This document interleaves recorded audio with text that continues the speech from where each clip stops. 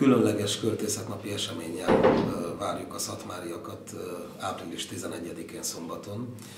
Azt hiszem, hogy ez valóban egy, egy rendhagyó alkalom, ugyanis nem más évektől eltérően nem egy pódiumműsorral, nem egy költői jelentkezünk, hanem egy versmaratonnal egybekötött, hát kicsit formabontó programsorozattal, amiben aztán lesz minden, megkezdve az ételkóstolástól, itt szakmári költők, már nem, már nem élő és kortárs szakmári költők kedvenc ételeit kóstolhatják meg az érdeklődők, lesznek megzenésített versek, élőben jelentkeznek, élőben kapcsolunk a technika segítségével olyan szatmári költőket, akik már nem, nem szatmáron élnek, illetve aki jelen tud lenni személyesen, az megjelenik.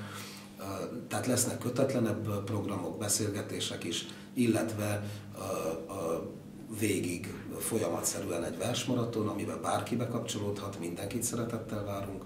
Bárki elhozhatja a kedvenc versét, vagy akár saját versét, ha van, felolvashatja, beszélhet néhány szóban a költészetről való viszonyáról, illetve hát az egész programsorozatot egy, egy koncerttel zárjuk le, ami egy kötetlenebb pillanata lesz ennek, a, ennek az estének én azt gondolom, hogy ezzel a, a, egyrészt a helyszín szimbolikájával, ami, ami ugye egy ö, ö, kávéház, kocsma hangulatú, kötetlenebb légkört biztosító helyszín, másrészt pedig az eseménynek a, a, a jellegével talán sikerül abba az irányba abba az irányba befolyásolni a dolgok menetét, illetve abba az irányba kommunikálni ennek a, az ünnepnek a jelentőségét, hogy mindenki úgy érezhesse, hogy a költészethez neki magának köze van.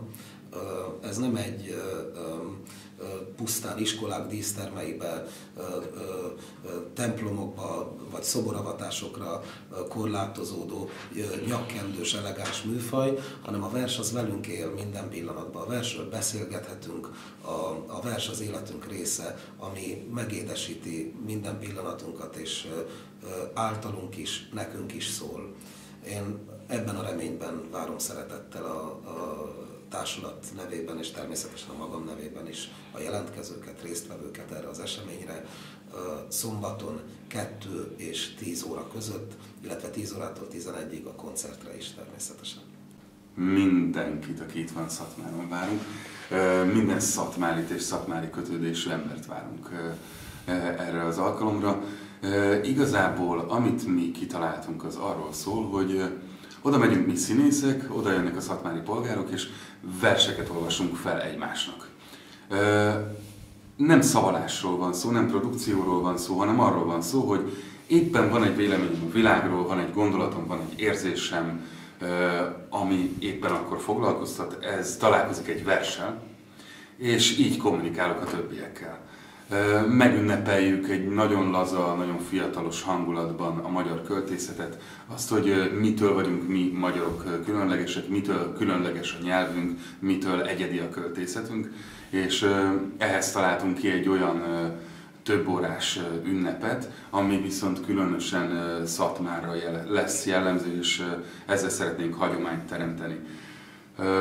Minden korosztályból várunk bárkit, akár hozzon egy kötetet ott a helyszínen, hogyha, de az elérhetőségen a Facebookon is megtalálnak, és illetve ezen a, ezeken a kiadványokon szórólap, ami itt van, és plakátokat, hogyha a városban találnak, ott is vannak elérhetőségek, ahol lehet előzetesen jelentkezni még szombatig.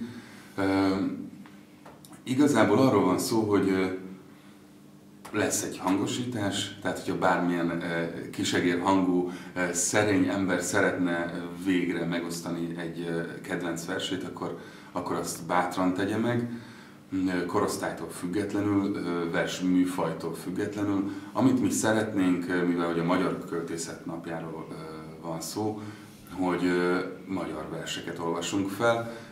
Fontos az is, hogy a román kollégák innen a színházból is jelentkeztek, hogy ők szeretnének felolvasni magyar verseket a román fordításban, tehát mindenkit várunk szeretettel, aki hasonlóképpen szeretne cselekedni, tehát egy mm, magyar verset szeretne román fordításban olvasni.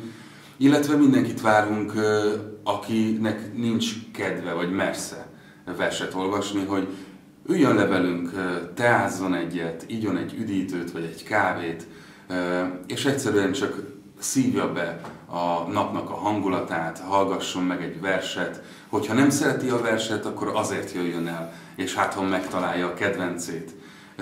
Hogyha fél a verstől, akkor nézzen szembe a félelmével, és, és legyen ott velünk.